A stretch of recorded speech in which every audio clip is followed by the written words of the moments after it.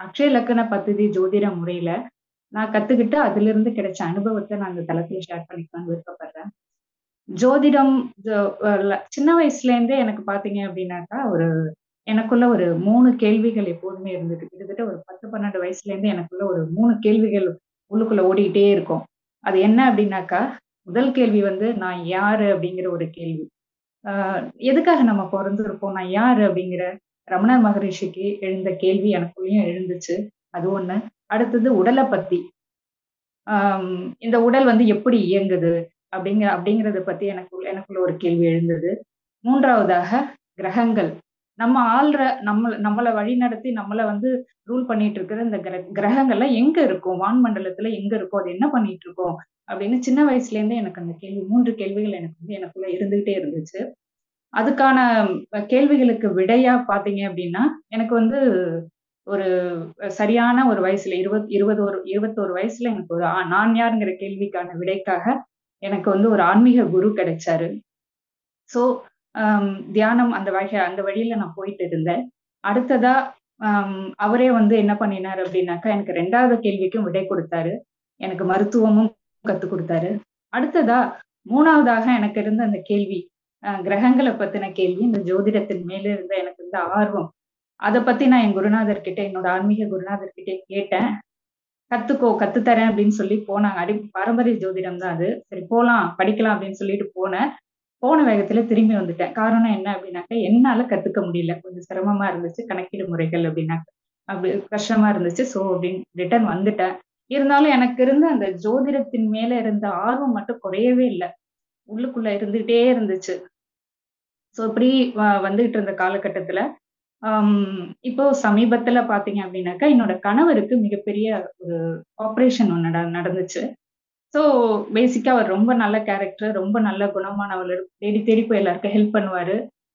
அப்படி நல்லவரா இருக்கிற இவரை ஒரு மனுஷனுக்கு போய் எப்படி இப்படிப்பட்ட ஒரு பெரிய அளவு ஆப்ரேஷன் நடந்துச்சு? ஏன் இந்த சோதனை இருக்கு அப்படின்னு நடந்த ஒரு ஒரு கேள்வி எனக்குள்ள வந்துச்சு. அதோட திருப்பி என்ன பண்ணினேன் அப்படின்னாக்கா, ஜோதிடத்தின் மேல திருப்பி ஆர்வம் அந்த அந்த அந்த இதை போய் நம்ம திரும்பி பார்த்துடலாம் எதனால அவருக்கு வந்துச்சு? அப்படிங்கிற அந்த கேள்வி என்ன பண்ணுச்சு அப்படின்னாக்கா, திருப்பி எனக்கு ஜோதிடத்தின் மேல நான் திரும்பி வந்து பார்க்க ஆரம்பிச்சேன். யூடியூப்ல ஒரு நாள் ஸ்க்ரோல் பண்ணிட்டு இருக்கும்போது, போது ஏஎல்பி அக்ஷய லக்ன பத்தி ஜோதிடர்கள் வந்து நிறைய அந்த ஷார்ட்ஸ்லாம் பார்த்துருக்கேன். வீடியோஸ்லாம் நிறைய பார்த்துருக்கேன். சரி நிறைய டைப் ஆஃப் ஜோதிடம் இப்போ நிறைய இருக்கு. எல்லா இதுவும் நான் யூடியூப்ல பார்த்துட்டு இருப்பேன். எதை கத்துக்கலாம்? ஏதாவது ஒன்று கத்துக்கிட்டோம் கத்துக்கணும் அப்படிங்கிற இதுல வந்துட்டு பார்க்கும்போது, லைவ் செஷன் நிறைய போயிட்டு இருக்கு. நம்ம ஏஎல்பி ஜோதிடர்கள் வந்து அஸ்ட்ராலஜர்ஸ் வந்து லைவ் செஷன் நிறைய பண்ணிட்டு இருப்பாங்க. அப்போ வந்து நான் பார்த்தேன். பார்த்துட்டு இருக்கும்போது, என்னுடைய கணவர் பத்தின ஆரோக்கியமும், என் கணவர் வந்து பிசினஸ்க்காக ஒரு இன்வெஸ்ட் பண்ணியிருந்தாரு. அந்த பிசினஸ் ரன் ஆகாம இருந்துச்சு. ஸோ இதுக்காக பார்த்தீங்க அப்படின்னாக்கா, நான் லைவ் செஷன்ல கொஸ்டின் கேட்டிருந்தேன். அதுக்கு வந்து ரொம்ப துல் வித்தின் அ செகண்ட்ல ஆன்சர் எனக்கு கிடைச்சிச்சு எனக்கு பயங்கர ஆச்சரியமா இருந்துச்சு. எப்படி இது சாத்தியம்?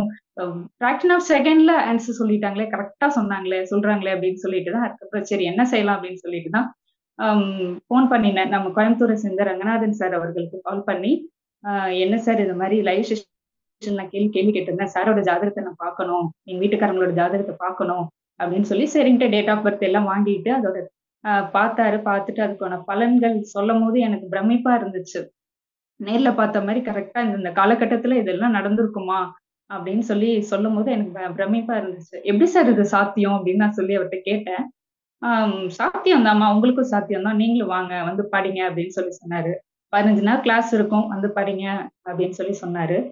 ஸோ இது திரும்பியும் எனக்கும் மறுபடியும் ஆச்சரியம் தான். ஏன் அப்படின்னாக்கா, எப்படி 15 நாளுக்குள்ள ஏன்னா வருஷக்கணக்கா 20 வருஷம், இருபத்தஞ்சு வருஷ கணக்கா ஜோதிடம் கத்துக்கிட்டு இருக்கிறவங்க, அவங்களுக்கு அவங்களுக்கே புள்ளியத்தன்மை எடுக்கிறதுல கொஞ்சம் சிரமப்படுற இந்த காலகட்டத்துல, எப்படி பதினஞ்சு நாள் எப்படி சாத்தியம்? அப்படின்னு கேள்வி இருந்துச்சு எனக்குள்ள. அந்த கேள்வியோட தான் நானும் சரி படிக்கலாம் அப்படின்னு சொல்லிட்டு என்ட்ரானேன் என்ட்ராகி பதினஞ்சு ஆகி 15 நாள் அப்படிங்கிறதே அதிகம்தான் ஒரு ஏழு ஏழு எட்டு நாள் ஏழு எட்டு அந்த அந்த நாள்லயே பார்த்தீங்க அப்படின்னாக்கா, பலனை வந்து எடுக்கிறதுக்கான ஒரு ஒரு தன் நம்பிக்கையோட பலன் எப்படி சொல்றது? உள்ளுக்குள்ள எந்த ஹெசிடேஷனும் இல்லாம, தைரியமா எப்படி பலனை சொல்றது அப்படிங்கிறத நம்ம அம் கத்துக்கிட்டேன். ஸ்பூன் ஃபீட் பண்ணி அழகா டிசைன் பண்ண அந்த விஷயம். அதுக்கப்புறம் எனக்குள்ள முடியும் அப்படிங்கிற ஒரு எப்படி நான் போன பாரம்பரியம் போய் போன உடனே திரும்பி வந்தேன் அப் வந்தேன்னு சொன்னேன். இதுல வந்து நான் என்டர் ஆன ஒரு ஒரு வாரத்திலே எனக்குள்ள ஒரு த ஒரு நம்பிக்கை வந்துருச்சு. இது முடியும், சாத்தியம் அப்படிங்கிற ஒரு விஷயம் எனக்குள்ள இருந்துச்சு. ஸோ கத்துக்கிட்டு அதுக்கப்புறம் நிறைய ப ஜாதகங்கள்லாம் ஆய்வு பண்ணினேன்.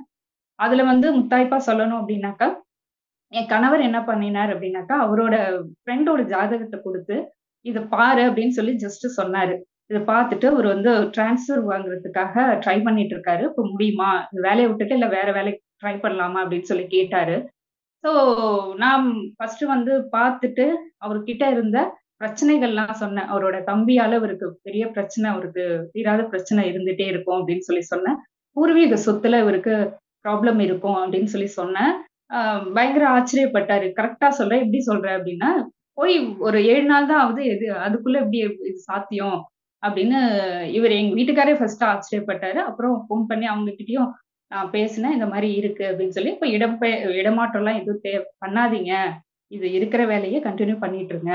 அப்படின்னு சொல்லி சொன்னேன். ஓகே அப்படின்னு சொல்லி சொன்னாரு. இது ஒரு பெரிய அனுபவம். அதோட என்னோட ஜாதகத்தை நான் நிறைய அடிக்கடி ஆய்வு பண்ணி பார்ப்பேன். இந்தந்த காலகட்டத்துல என்னென்ன நட நடந்துச்சு அப்படின்னு சொல்லி அ ப பார்க்கும்போது 6, 8 நெறைய சம்மந்தப்பட்டுட்டே இருந்துச்சு.